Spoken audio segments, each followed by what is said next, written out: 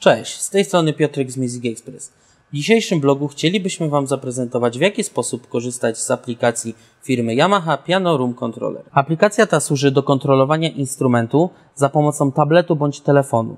Bardzo ważną rzeczą jest, aby urządzenie to posiadało system iOS. Aby skorzystać z naszej aplikacji, musimy zakupić moduł UDBT01.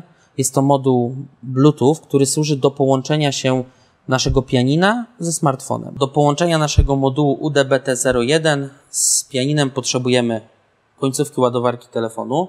Łączymy ze sobą te dwa elementy. Podłączamy kabel USB to host i wpinamy do gniazdka sieciowego. Wpinamy sobie wtyczkę USB to host do gniazda pod pianinem. Po włączeniu Bluetooth w naszym telefonie wyświetli nam się informacja o połączeniu modułu UDBT01 z naszym smartfonem.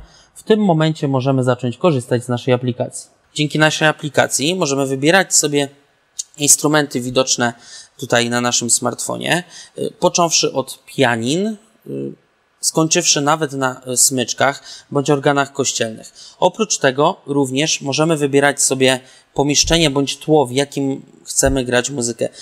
Począwszy od sali koncertowej, po filharmonię, hall. Wybieramy sobie pierwszy instrument, niech będzie to pianino.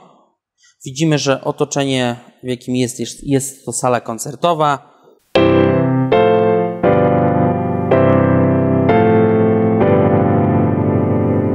Zmieńmy sobie teraz otoczenie na przykład na niech będzie scena plenerowa.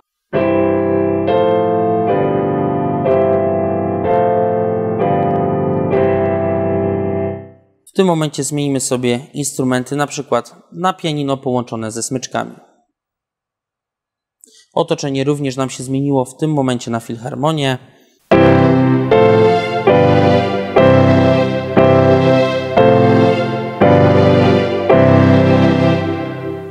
Zmieńmy sobie otoczenie.